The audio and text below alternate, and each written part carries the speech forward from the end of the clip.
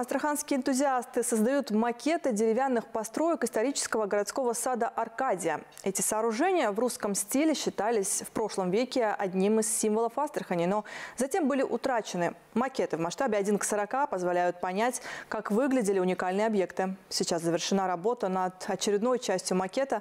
Об этом в материале моих коллег. В конце XIX века астраханец Константин Полякович превратил городской садовый бугор в популярное место отдыха – сад Аркадия. Он прославился деревянными строениями, похожими на сказочные терема. Увы, пожар 1976 года уничтожил последние из них. С тех пор деревянный театр, курзал для танцев и входную арку можно было увидеть только на фотографиях.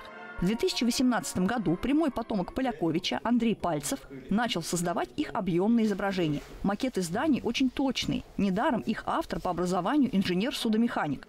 Макеты делают в мастерской, где есть оборудование. Оно осталось с тех пор, когда автор увлекался созданием моделей кораблей. Работают втроем. Автор проекта, его сын Евгений и единомышленник Владимир Никифоров. Владимир делает расчеты, Евгений – мастер компьютерной графики, а руководитель группы собирает все в единое целое.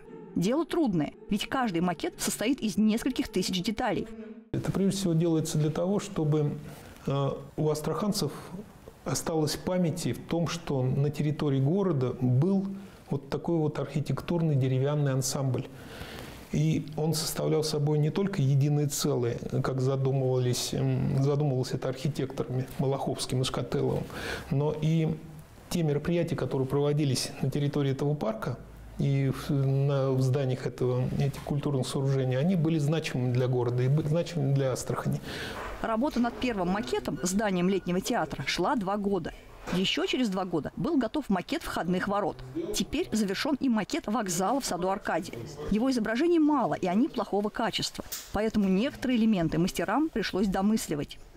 Вот этот элемент это практически невозможно достоверно по фотографии установить, потому что они всегда далеко, фото делается снизу.